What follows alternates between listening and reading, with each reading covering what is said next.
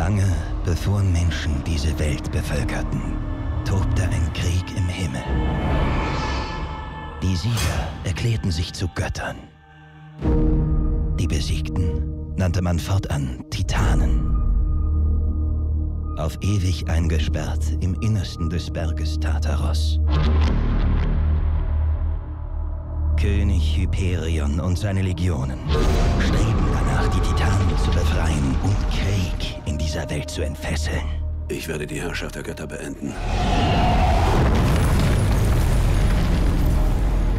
Wenn es einen Menschen gibt, der sie gegen Hyperion führen kann,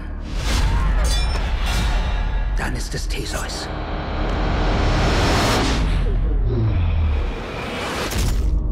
Ich glaube an dich. Beweis es mir.